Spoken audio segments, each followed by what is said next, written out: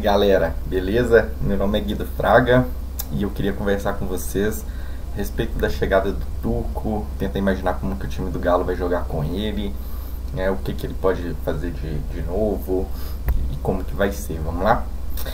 Então, vamos contextualizar primeiro a chegada do Turco, é, porque ela foi bastante assim, inusitada, bem diferente. Ele chega, é um treinador que chega para um time que venceu tudo na temporada que quase tudo, né?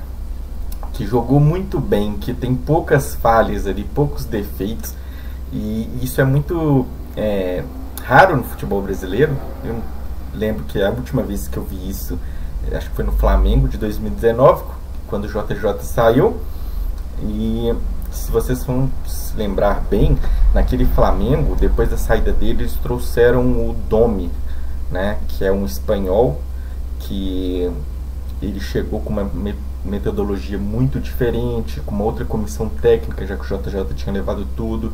E aí, naquela época, eles mudaram muito o time e aquele time que tinha vencido tudo começou a ir muito mal, a, a oscilar muito. Né? E acho que a diretoria do Galo pensou nisso, né? usou eles como exemplo, e dessa vez, para substituir um, um trabalho vitorioso, trouxeram um treinador que a principal característica dele é se adaptar ao elenco. Né? Então, é, ele não vai. Eles não querem que o time mude muito, porque ele foi campeão do brasileiro e da Copa do Brasil. Então, super faz sentido, né? Se apostar em um cara que vai manter o trabalho ali que foi feito durante é, toda a temporada e que deu muito certo, né? Então, é, essa é a principal característica dele. E a segunda, que para mim não é muito importante para gente, que é um treinador que se adapta ao time adversário.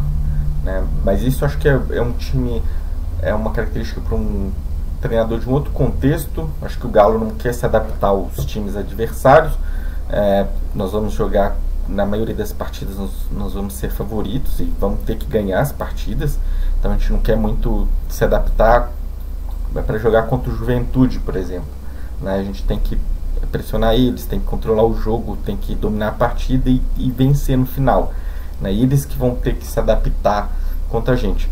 Se vão se lembrar bem, o Galo do Cuca repetiu quase que o mesmo time e a mesma formação, quase, durante todo o ano né? E mudou ali para três zagueiros contra o Flamengo, né? Contra o River.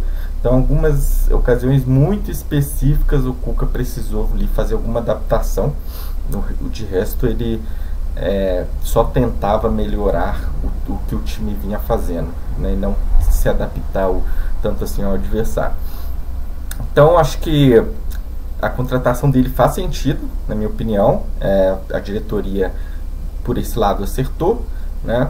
E, e essa característica dele de se adaptar ao time adversário dentro do contexto de entrar em um time que foi um campeão, foi muito vencedor, é, é o que a gente procura, né? Acho que o Galo primeiro foi nos treinadores é, como uma empresa né, grande que vai contratar e, e para um cargo de confiança ela vai ali primeiro nos, nos indicados, né, nos, nos que elas já conhecem o trabalho, que algum amigo ali, né, sabe como o cara é. Então, ali, por exemplo, a primeira opção foi o JJ, que é um amigo pessoal do Ricardo Guimarães. Né? Então, ali, primeiro ela foi ali nas indicações e foi recebendo os currículos ali, as oportunidades. E é lógico que os currículos foram analisados depois, então ele não foi a primeira opção, mas eu acredito que, que vai dar certo. Foi uma opção acertada. Né? Vamos ver como que ele vai trabalhar e espero que ele tenha tempo de ter uma adaptação, né? Que caso o time oscile, a, culpa, né? A imprensa, né? a torcida não force muito a barra. Então vamos lá, começando aqui. Acho que o time com ele vai seguir com a mesma escalação inicial, a base do time do Cuca. Acho que ele não vai mexer nisso. Ele também gosta de jogar no 4-2-3-1. Né? Aqui esses de vermelho é simulando como se a gente estivesse jogando contra um time no 4-4-2, que a maioria do, times brasileiros jogam assim. E aqui acho que é uma, é, uma das poucas diferenças que acho que vamos ter com ele é que com o Cuca o Alan vinha aqui e ele baixava para fazer essa saída de bola. E aqui ele criava superioridade numérica contra os dois atacantes do time adversário, que a maioria do time brasileiro joga com, com dois atacantes mesmo. Os laterais abriam, o Jair vinha para cá e o, Jair, e o, Godi, o Alonso e o Nathan Silva abriam aqui. Então assim é o Galo do Cuca saía jogando, beleza? É, vários times saem jogando assim também, como o River do, do Galhardo também sai jogando assim. Então, e, na minha opinião, ele vai mudar isso para isso. Ele vai eu acho que ele vai querer jogar com um duplo pivô aqui, né? O, o zagueiro não vai baixar tanto o, o volante e ele vai usar os mesmos seis jogadores para fazer essa primeira fase de construção para sair jogando, mas com o Alan e o Jair criando linha de passe e, e esses triângulos aqui, né? Na hora de, de sair jogando, tá? É, assim, acho que vai, vai dar certo, a gente vai ter mais posse de bola, vai ter uma saída de bola mais tranquila, né? Não, não é não curto muito porque o Alan ele é muito bom aqui e, e ele contra é, a, a, subida de pressão dos times brasileiros que não é a maioria não é muito bem feita ele já se vira muito bem aqui né? O cara é um monstro. Então eu preferia ter um, um Jair mais à frente sabe? É, o Alan aqui ele e ele ele é muito é, como que eu posso falar ele, ele sozinho já ocupa muito espaço, né? Então, se botar um cara aqui do lado dele, é, não, vai pegar na bola, né? Assim, bem dizer. Né? O Alan, ele já ele é um cara que toma conta da saída de bola, né? E controla a saída. Então, é, para mim, essa vai ser uma das alterações que ele vai fazer, né? E pode ajudar o Godin também, que ele não é um zagueiro é, tão bom com a, com a bola como o Alonso era. Né? E o Alonso era um zagueiro de, de parecer um zagueiro meio espanhol, né? Que são zagueiros um pouco mais rápidos, não são tão bons de cabeça, mas são muito bons com a bola, muito bons construtores. O Alonso parecia que tinha mais esse perfil, o Godin já aquele zagueiro raiz, né? Uruguaio, italiano, né? Que é, é mais canela dura um pouco, mas é muito bom na, de cabeça no duelo aéreo e, que chega mais firme, né? Acho que ele tem essa característica um pouco. É, vamos ver como que ele vai sair no time. Acho que eu nunca vi ele no time dentro desse contexto de que quer propor o jogo, quer ganhar a partida. O Godin, ele é um, um jogador que jogou na Atlético de Madrid, que é um time que quer ficar mais fechadinho, saindo contra-ataque. O Uruguai também é assim. Então, mas para um cara de um nível tão top, acho que ele consegue fazer essa adaptação aí tranquilamente. É, eu acho que o time vai mudar com o Turco também. Na, no segundo terço, né, quando a gente entra em ataque posicional, né, é, que é quando a gente está jogando contra times muito fechados, o, o Galo era um time que saía fazer muito gol em ataque rápido, em contra-ataque, roubando a bola.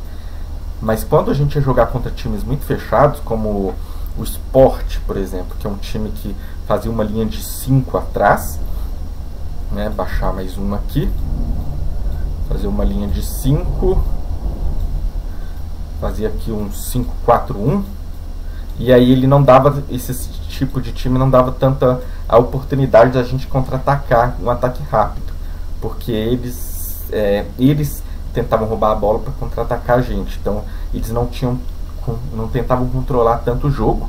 Então, quando, contra esse tipo de time, o Galo entrava muito em ataque posicional e a gente ficava meio assim.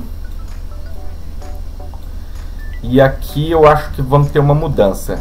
Eu acho que a, o time do Turco vai querer trabalhar um pouco mais a bola e ficar um pouco mais com a bola, não tentar arriscar tanto é, bola direta e, e, jogada e acelerar tanto o jogo. Eu acho que era o, caminho que o Cuca estava indo. Né? A gente foi olhar os gols do começo da temporada do final estavam mudando um pouco para gols com jogadas mais trabalhadas e acho que esse é o caminho que ele vai, tá? É, da gente ter é, aproveitar aquela dinâmica, por exemplo, da bola vir aqui no Arana, né? O, o, o, lateral do adversário chega no Arana, o, o Hulk chega aqui para somar mais um aqui, né? Da superioridade numérica e fazer uma tabela, né? Ou o, o Nacho né, caía muito aqui para receber a bola e enfiar. Então acho que vai ter muito mais dessas, desse tipo de dinâmica. Eu acho que o Zaratio vai ser o titular no início da temporada e depois no, no segundo tempo a gente vai usar muito o Ademir aqui, né, principalmente para pegar a defesa adversária mais cansada. Ele é um cara muito rápido que dribla muito. Lembro de olhar os números dele de drible e eram é, ele tinha mais drible do que o Keno quando eu olhei no, na para mais da metade da temporada passada. E o Keno é um cara que tenta muito drible um contra um. O Ademir tinha mais isso ainda. Então acho que ele vai ser muito usado no começo, no segundo tempo, para entrar aqui no lugar do Zarate.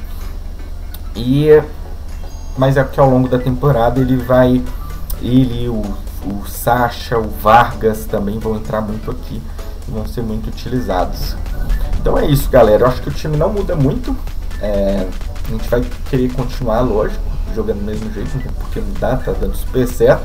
Né? É, contratamos jogadores aí que mantêm, de certa forma, o mesmo padrão e a base foi mantida também. Acho que a diretoria vem fazendo um bom trabalho até aqui. Estou com uma ótima expectativa aí para o ano que vem. E espero que a gente continue aí é, destruindo todo mundo, né? Como foi em 2021. Então é isso. Escreve aí nos comentários se concordam comigo, se acha que vai ser diferente e se eu falei alguma bobagem. Tamo junto, aquele abraço. Bora que daqui a pouco, né? Voltam os jogos, saudade demais do Galo e espero que, que a gente continue sendo campeão esse ano. Valeu, galera. Um abraço.